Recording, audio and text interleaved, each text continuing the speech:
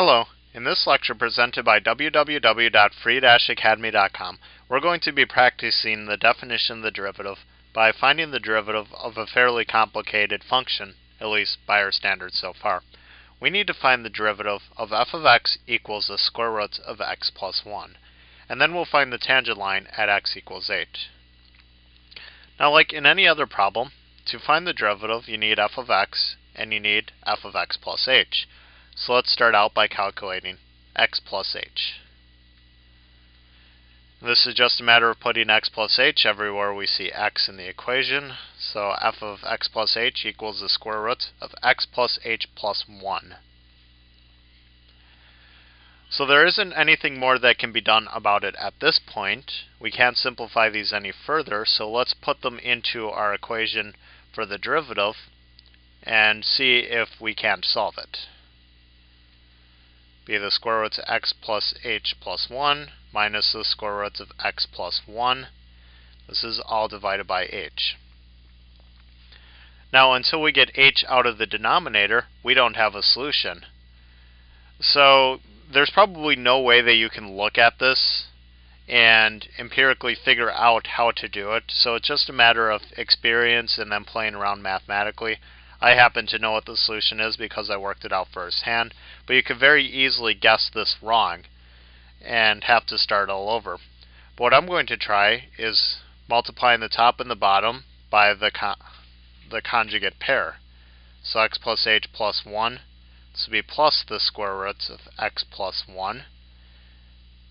And then, of course, you divide the bottom by the same thing.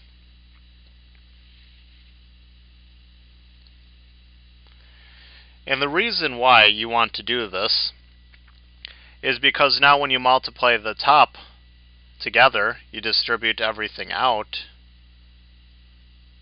you're going to get x plus h plus 1 minus x plus 1. And of course, if you multiply a square root by itself, that equals no square roots and your cross terms cancel because this is a minus and this is a plus. So this is like x minus 3 times x plus 3. So that's the top. That is correct, by the way. You can check it out. The bottom is going to be h, the square root of x plus h plus 1, plus the square roots of x plus 1.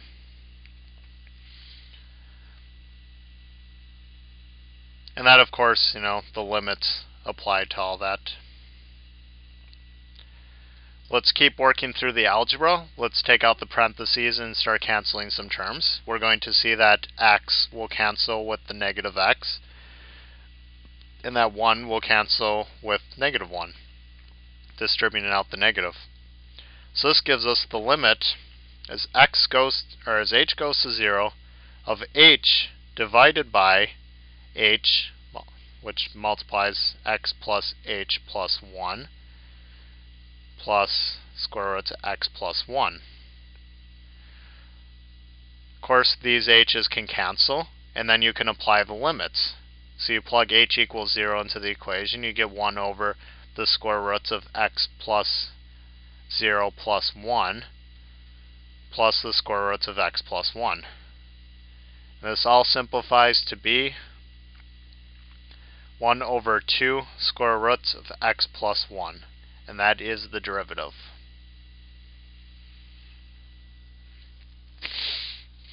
So the process is straightforward. Every single problem you find, you take your f of x, you find f of x plus h, you plug it into the formula, and then you eliminate h from the denominator. Which is not necessarily an easy thing to do, but the process itself is inherently simple.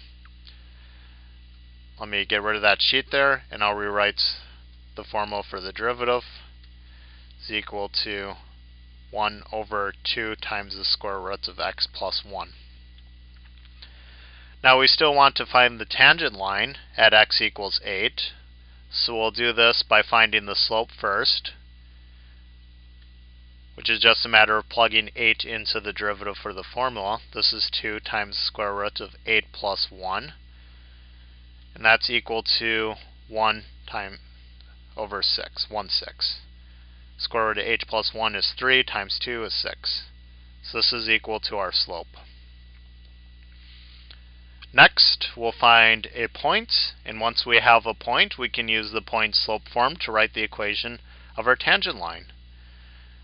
f of x equals the square roots of x plus 1 and we're looking for the point x equals 8, so f of 8 equals the square roots of h plus 1, which equals 3. So this gives us the point 8, 3, as well as the slope equal to 1, 6. Point slope form of the line is y minus y1 equals x times, I'm sorry, m times x minus x1. So I'll plug our different values in. We get my y minus y minus 3 equals 1 sixth x minus 8. And there we have it, the equation of the tangent line.